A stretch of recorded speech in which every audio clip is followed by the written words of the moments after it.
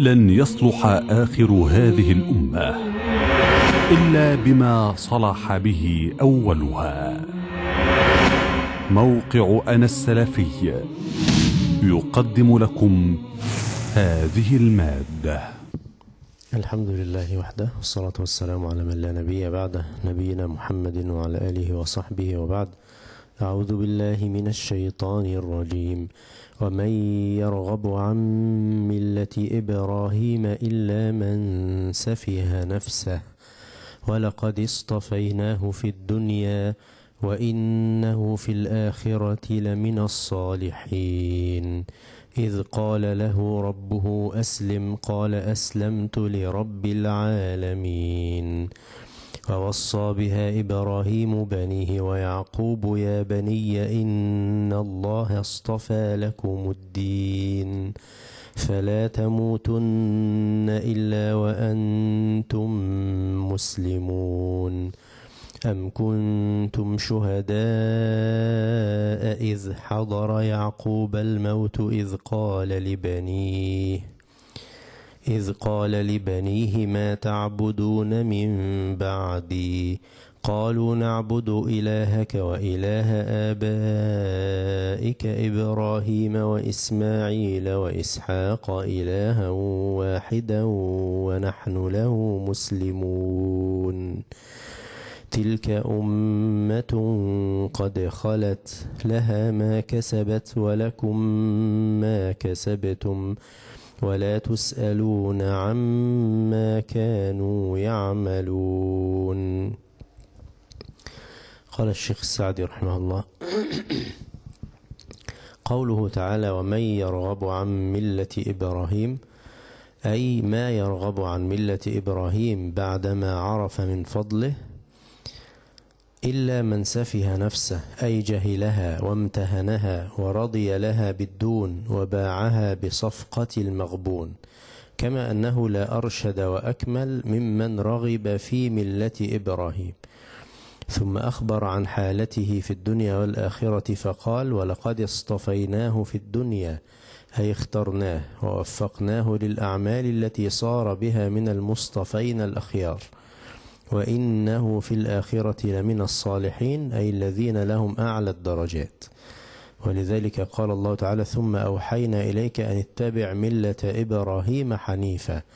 فلذا حاز إبراهيم عليه السلام المكانة العظيمة والشرف الكبير في الدنيا والآخرة فهو أبو الأنبياء وإمام الأصفياء عليه الصلاة والسلام. إذ قال له ربه أسلم. وهذا مما يبين بما نال وكيف نال إبراهيم عليه السلام تلك المكانة وهذه الدرجة. إذ قال له ربه أسلم قال أي امتثالا لربه أسلمت لرب العالمين أي إخلاصا وتوحيدا ومحبة وإنابة. فكان التوحيد لله نعته ثم ورثه في ذريته ووصاهم به وجعلها كلمة باقية في عقبه.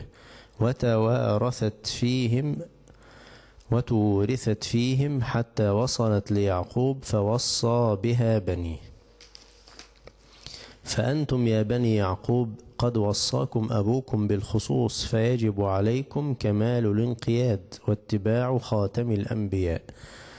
قال يا بني إن الله اصطفى لكم الدين أي اختاره وتخيره لكم رحمة بكم وإحسانا إليكم. فقوموا به واتصفوا بشرائعه وانصبغوا بأخلاقه حتى تستمروا على ذلك فلا يأتيكم الموت إلا وأنتم عليه. لأن من عاش على شيء مات عليه ومن مات على شيء بعث عليه. فلا تموتن إلا وأنتم مسلمون. هذه أيضا وصية الله عز وجل لهذه الأمة. يا أيها الذين أمنوا اتقوا الله حق تقاته ولا تموتن إلا وأنتم مسلمون وهذه وصية بالتمسك والاستمساك بالإسلام والعمل به والثبات عليه حتى لقاء الرب سبحانه وتعالى. قال ولما كان اليهود يزعمون أنهم على ملة إبراهيم ومن, ومن بعده يعقوب قال تعالى منكرا عليهم عليهم أم كنتم شهداء أي أكنتم حضورا؟ إذ حضر يعقوب الموت إذ قال لبنيه أي مقدمات الموت وأسبابه وأسبابه. فقال لبنيه على وجه الاختبار ولتقر عينه في حياته بامتثالهم ما وصاهم به. قال لهم ما تعبدون من بعدي؟ فأجابوه بما قرت به عينه فقالوا نعبد إلهك وإله آبائك إبراهيم وإسماعيل وإسحاق إلها واحدا يعني لا نشرك به شيئا ولا نعدل به ونحن له مسلمون. فجمعوا بين التوحيد والعمل. قال ومن المعلوم أنهم لم يحضروا يعقوب لأنهم لم يوجدوا بعد فإذا لم يحضروا فقد أخبر الله عنه أنه وصى بنيه بالحنيفية لا باليهودية. فهؤلاء الذين ادعوا غير ذلك من بني إسرائيل لم يكونوا قد حضروا ذلك الموقف لأنهم لم يوجدوا بعد. فوصى الله عز وجل أو بين أنه وصى بنيه بالحنيفية ولا باليهودية. وهذه فيها مسألة مهمة جدا وهي الاعتناء بالأولاد والذرية وأن يستمر الإسلام في ذرية الإنسان والاستقامة عليه والإنابة وأن يكون هذا شغل وهم يشغل بال المسلم خاصة إذا كبر واقترب أجله أن يطمئن على ذريته. كيف سيكون حالهم من بعده؟ وكيف هو استمساكهم بالإسلام؟ واستقامتهم عليه. إذا كان هذا نبي ويفعل هذا مع أبنائه وفيهم من الأنبياء ما فيهم فكيف يكون حال غيره؟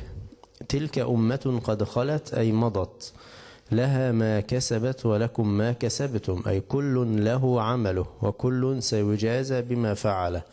لا يؤاخذ أحد بذنب أحد ولا ينفع أحدا إلا إيمانه وتقواه. فاشتغالكم بهم وادعاؤكم أنكم على ملتهم والرضا بمجرد القول أمر فارغ لا حقيقة له. يعني ما يفعله بنو إسرائيل من الادعاءات أنهم على ملة إبراهيم ونحو ذلك هذا أمر لا حقيقة له. الواجب عليكم أن تنظروا حالتكم التي أنتم عليها هل تصلح للنجاة أم لا؟ وهذا بيان لما كان عليه بني إسرائيل بنو إسرائيل من الادعاء والافتراء. وهذا حالهم دوما. ادعاء أمور لا حقيقة لها.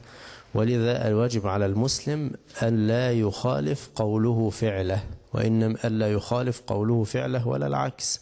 وإنما ما يقوله يحاول أن يلتزم به ويمتثله. قولوا قولي هذا وأستغفر الله لي ولكم وجزاكم الله خير قل هذه سبيلي أدعو إلى الله على بصيرة أنا ومن اتبعني وسبحان الله وما أنا من المشركين